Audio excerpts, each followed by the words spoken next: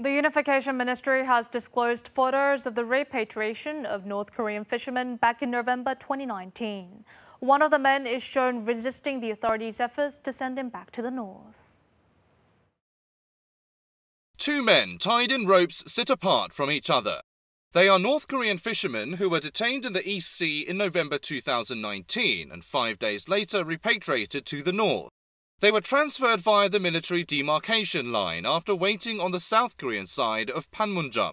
One of the men obediently followed the order to return. The other resisted. He also fell down while resisting. In an unprecedented move, the Unification Ministry disclosed the photos of the repatriation. The ministry says repatriation of North Koreans is always photographed at Panmunjom for documentation, it submitted the images to Parliament on Tuesday and disclosed them to the public. The government at the time said a probe had revealed that the fishermen had murdered 16 colleagues. 살인 등 중대한 비정치적 범죄로 북한 이탈 주민법상 보호 대상이 아니며 우리 사회 편입 시 국민의 생명과 안전에 위협이 되고 Recently, the National Intelligence Service indicted its former chief, Suh Hoon, for allegedly closing the probe ahead of time.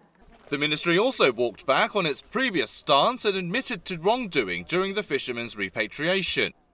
탈북 어민이 헌법상 대한민국 국민이고 북한으로 넘겼을 경우에 받게 될 여러 가지 피해를 생각한다면 탈북 어민의 북송은 분명하게 잘못된 부분이 있다는 a ministry official declined to explain the reason for concluding that the repatriation was wrong, only saying the matter is still being investigated.